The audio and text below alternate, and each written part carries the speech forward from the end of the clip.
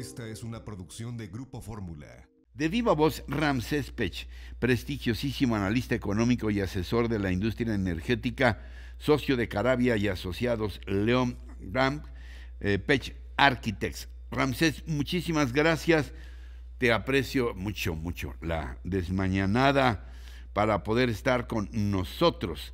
Eh, ¿Cómo ves toda esta situación del petróleo internacional, Ramsés, y de qué manera nos afecta a México?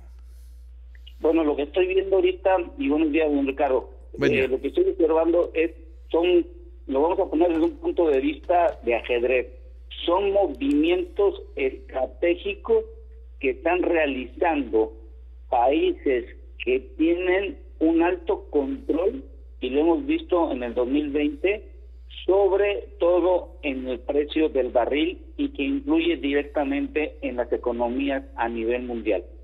La primera jugada que estamos observando, y lo vamos a llamar así, que está moviendo su torre, es Rusia, en donde está amagando con la, con la invasión y el día de ayer con el reconocimiento de dos ciudades que, que son de, las están considerando independientes, y esto es simplemente en el sentido, y hay que dejarlo claro en el público, es un punto estratégico energético, sobre todo en la parte logística, en donde en el futuro Rusia pudiese pasar una mayor cantidad de volumen de gas natural a Europa en función de la demanda que estamos viendo que se va a incrementar.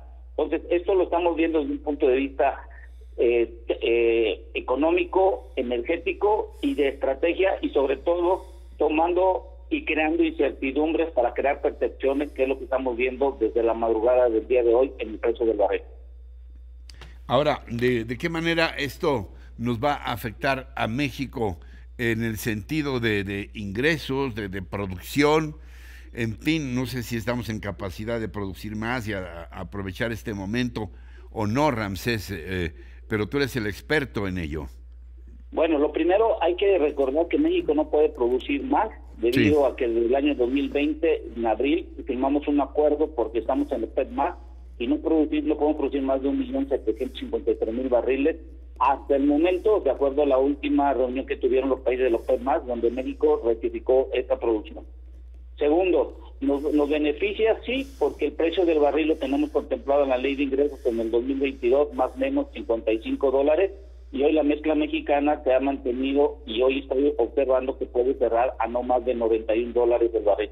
Es decir, tenemos ingresos en los próximos días de gran cantidad y esto puede beneficiar a los ingresos de la nación. ¿En dónde puede eh, no ayudar? Bueno, ya lo hemos visto desde hace, ya vamos dos semanas, en donde no se está cobrando en la gasolina regular el 10 y esto origina que el gobierno no tiene control ya sobre los precios de, de la gasolina regular porque no tiene una herramienta para controlar el precio. ¿Y eso qué es lo que nos va a decir? Que si llega a 100 dólares el barril, podemos tener una inflación directamente que afecte al consumidor y sobre todo a la canasta básica. Y si llega a mantenerse o tengamos un precio del barril los últimos los últimos eh, próximos días de arriba de 95, pudiera desaparecer también el impuesto que se paga al diésel. Esto es preocupante porque el ingreso que se esperaba de la recaudación del JET no lo vamos a tener y esto va a, va a ocasionar que el ingreso que vamos a tener por las divisas de, la exportación de crudo, bueno, compensa en gran parte de esto. Aquí la pregunta es, lo que nos dijeron el 28 de diciembre, ¿estamos seguros que vamos a dejar de exportar en el 2023? Porque viendo la estadística hacia el futuro, don Ricardo, el precio del barril hasta el 2023 no baja de 80 dólares. Bueno, entonces tenemos que estar muy atentos. ¿De qué depende que el país le vaya tomando el pulso a toda esta situación, Ramsés, y, que apliquemos políticas eh, públicas eh, de carácter técnico, con expertos como tú, y, no de carácter político? Bueno, lo primero que hay que comentarle al público es que en la madrugada, a las 3 de la mañana, el precio para el mes de marzo llegó a 99 dólares. Para el precio del barril, estoy tomando dice el Brent, a las 4 de la mañana para abril llegó a 99 dólares. Y en mayo, el mismo Brent, a las 2.30 de la mañana llegó a 93.31. ¿Qué tiene que ver todo esto? Bueno, estos valores, lo que pasa en México, como bien lo comentan, debemos dejar a un lado la política y sobre todo las políticas de, energía, que es lo que va a venir en el, en el futuro. Es entender que la transición energética no es simplemente el hecho de cambiar las leyes para generar la electricidad. Lo vamos a dejar claro en esto, don, don, don Ricardo. La transición energética está dividida en el mundo en dos fases muy importantes. La primera fase, que es al año 2050, es cómo se va a generar la electricidad y se pretende que sean con energías limpias o renovables que emitan eh, cero contaminantes de dióxido de carbono o moléculas de dióxido de carbono. La segunda parte va a ser en el año 2050 en adelante, la mayoría del transporte sea por de la parte del sector eléctrico. Son carros eléctricos, aviones eléctricos, barcos eléctricos, pero eso va a ser del 2050 en adelante. ¿Qué es lo que vamos a hacer? Es que si no entendemos que la transición energética requiere cierta cantidad de inversión y el mundo está diciendo que se necesitan alrededor de 4, 4 billones de dólares anuales a partir del año 2030, imagínense en México si seguimos pensando quién genera o cómo va a generar la electricidad, si Pemex o CFE, son los que deben de ser el garante. La pregunta es que en México todavía no tenemos ni idea de qué es una transición energética en función de globalizar. Y te lo digo en ese, te lo digo en ese sentido. Estados Unidos la semana pasada está sacando un plan para que de los combustibles fósiles, sobre todo del carbón de cenizas, recuperen cobalto, níquel y tierras raras que se utilizan para la construcción de carros eléctricos y de lo que proviene del agua de la, de, del fracking dice que pueden encontrar extractos de litio. Entonces imagínense si Estados Unidos eh, de sus desechos está sacando minerales que en su momento dado pueden recuperar, en México ¿qué estamos haciendo? Solo estamos pensando en cómo o quién va a generar la electricidad. ¿Algún otro aspecto sobre esta situación actual y en el cortísimo, mediano plazo, Ramsés, algo que no te haya preguntado y que creas que es importante puntualizar?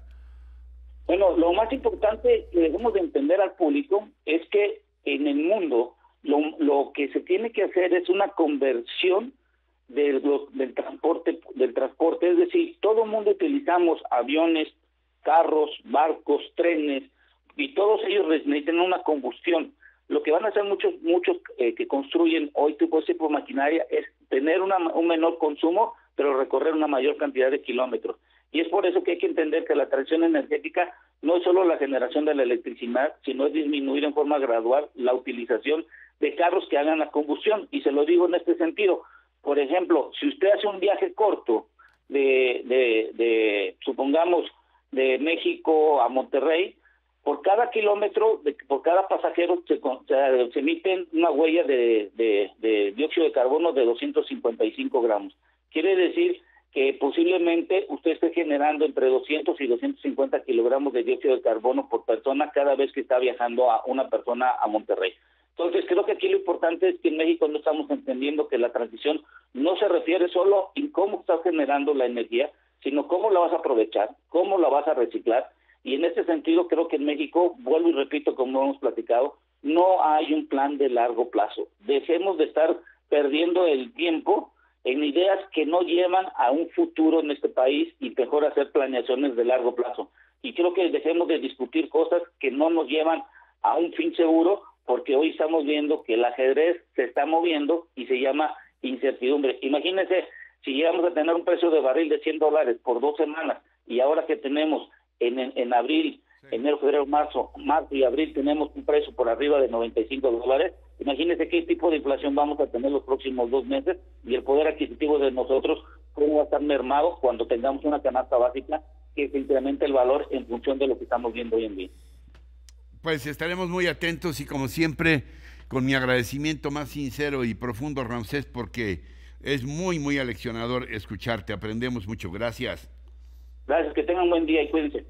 Buen día, Ramsés Pecha, analista económico y asesor de la industria energética. Bueno, pues para, para mí el hombre que más sabe de estos temas y cómo se mueven los mercados, sobre todo. Encuentra más contenido como este en radioformula.mx.